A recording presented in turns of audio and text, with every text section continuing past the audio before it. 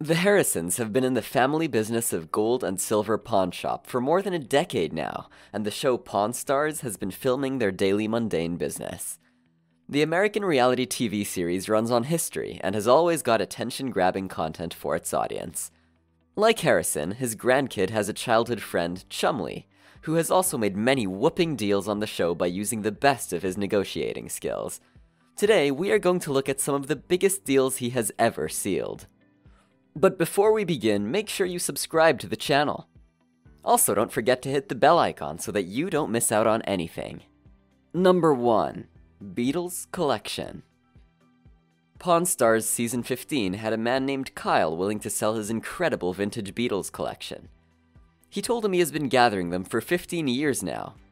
His initial demand, however, was $26,500, since he got variations that only fan club members got, records that were printed so quickly to meet the demand that they didn't even have the producer's information.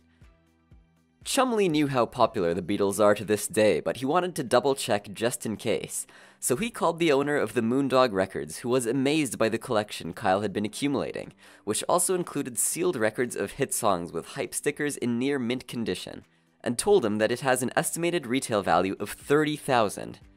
Chumlee was able to get the collection for just 20,000 in the end. Wow, that's impressive. Number 2. Gibson Mandolin. Guess who is called the whipping boy of the pawn shop? Yes, it is none other than Chumlee himself. And rightly so, for some of his deals made everyone wonder if he is insane. Once, in season 2 of the show, he was minding the shop all alone one day when a man offered him a Gibson mandolin, now, this was one of the thousands of dupes that are sold in the market around the US. It had the initials of the logo rubbed and seemed a little different too. Chumlee still managed to buy the mandolin for $1,500, despite the limit of a thousand. He then took it to the music shop owner, and what he revealed was Chumlee's greatest disappointment of all time. How it wasn't worth more than a hundred bucks. Oops, Chumlee. Number 3. Bike. In Season 8, Chumlee got lost when he accidentally came across a very special bike at some random person's house. He knew if he cracked this one, his bosses would be very happy with him. He went to the owner and came to know that it was a 1959 Spacelander, which is rare since most of the models of that time are in museums now, and it was a present for him on his 10th birthday. The owner's initial demand for it was a whopping $20,000, However, Chumlee convinced him for just 8,700 since the owner was out of cash that day and needed it badly.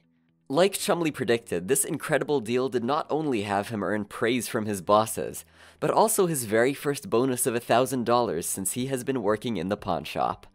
Number 4. The Scottish Pistols. Though Chumlee has been seen carelessly roaming around, at times he has just blown us away with his effort for getting good deals done, like this one time when a customer brought a pair of vintage nickel-plated Scottish pistols that were around a hundred years old, asking for about 8,000 for them. Chumlee made the right decision by calling in an expert. The expert revealed that the pistols were actually the creation of a very famous Victorian-era gunmaker, and suggested that the guns would be able to get four to 5,000 bucks at an auction. The owner then lowered the initial price to 4,200, but Chumlee convinced him to sell it for just 3300 making it his career best deal. Smart one, Chumlee. Number 5. The Game Book. This one time, Chumlee got confused, like you all must be. Why would a person ask $1,500 for a game book? He really couldn't understand, but the owner mentioned how he won it in a show, Chumlee told him he would hardly buy it for 20 to 30 bucks, and that he has seen something very similar to this online, and this is the least he could pay. However, when Rebecca Romney visited the store to appraise it, she was excited to see the book and told him that this was one of the very first published rulebooks for poker to ever record in the year 1886. Chumlee then suddenly wanted to make the deal. The owner now wanted more money, but Chumlee agreed to pay 1375. Close to his initial demand, isn't it? Well, it would be wrong to say that Chumlee is any less than an exciting package for all his viewers. He surely has cracked the greatest deals, and the way he has executed them has either got us in fits or made us praise him. We would love to hear your favorite deals he has made so far in the comments section down below. Well, that's it for today. Hope you guys enjoyed the video. If you did, then let us know by giving it a thumbs up. We will see you soon in another video. Until then, take care and goodbye.